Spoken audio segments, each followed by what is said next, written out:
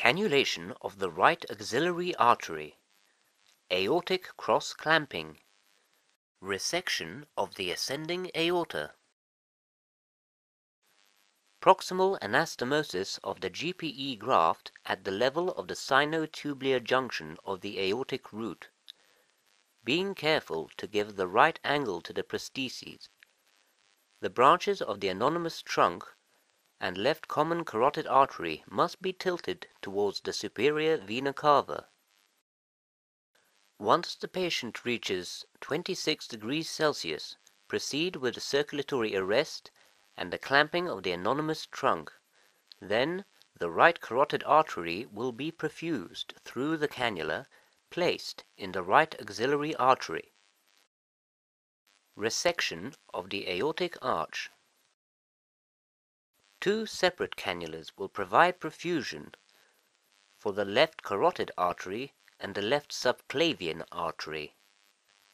Introduction of the Evita Open Plus stent graft.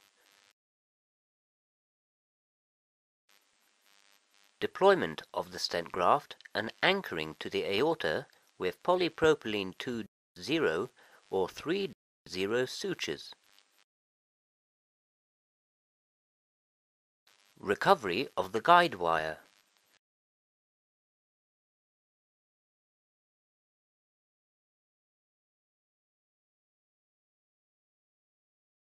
Recovery of the vascular prostheses, resection of the fabric close to the anchoring sutures. Distal anastomosis between the GPE and the stent graft with 0-3 polypropylene sutures. Cannulation through the perfusion branch of the vascular prostheses.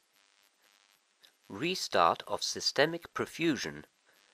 The selective anterograde cerebral perfusion is still running through the cannulas.